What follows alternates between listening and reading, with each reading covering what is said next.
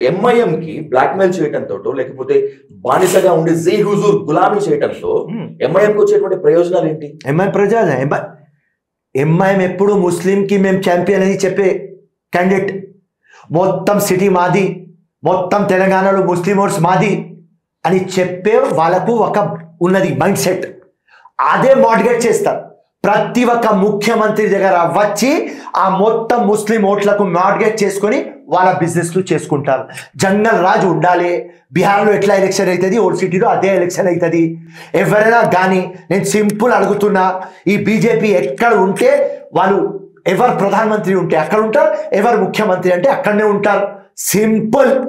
ఎక్కడైనా మీరు చూడండి ఇప్పుడు చూడండి. యాక్చువల్లీ బీజేపీకి వాడు B team Asaduddin. Raja Singh contest చేయాలి. రాజా సింగ్ ఎందుకు కంటెస్ట్ చేయడు? హైదరాబాద్. ఓకే. గోషామహల్లో రాజా సింగ్కి టికెట్ వస్తే ఎంఐఎం క్యాండిడేట్ పెట్టదు. ఎందుకు? లాస్ట్ టైం కూడా పెట్టలేదు. ఎందుకు పెట్టలేదు? ఇది ఓపెన్ సీక్రెట్ బీజేపీకి బి టీం అసదుద్దీన్. వంద సార్లు చెప్పిన. ఇప్పుడు కూడా చెప్తున్నా మీ ఛానల్కి బీజేపీకి బి టీం కాకపోతే అసదుద్దీన్. ఫ్రైడే రంజాన్ వస్తుంది. ఉన్నది ఇప్పుడు. లాస్ట్ ఫ్రైడే ఉన్నది. మ్మ్.